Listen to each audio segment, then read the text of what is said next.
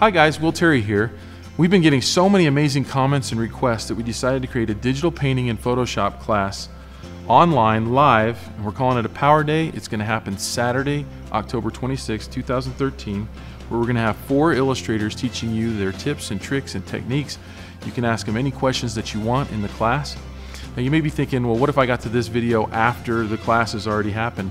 Well don't worry. You can still pick up the video recordings each section will be two and a half hours starting with me will terry I'll be sharing techniques I use in my children's book illustrations. Then it's Zac Retz, who just illustrated Too Much Glue, which is selling like crazy on Amazon.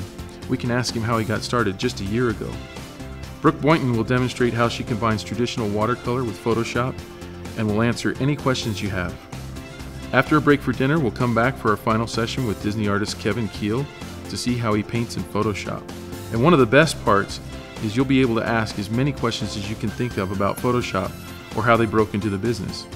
So if this sounds interesting to you and you want to participate in the complete class, you'll get three things. One, full participation in the class so you can ask any question that you want. Two, a half an hour of one-on-one personal time with me in GoToMeeting where I'll personally paint on one of your sketches and teach you my personal techniques. And three, access to my beginning painting in Photoshop videos if you're new to Photoshop. If you're not able to get into the complete class, you can still purchase the light class, which gives you all the access to what happened in the complete class in video recording.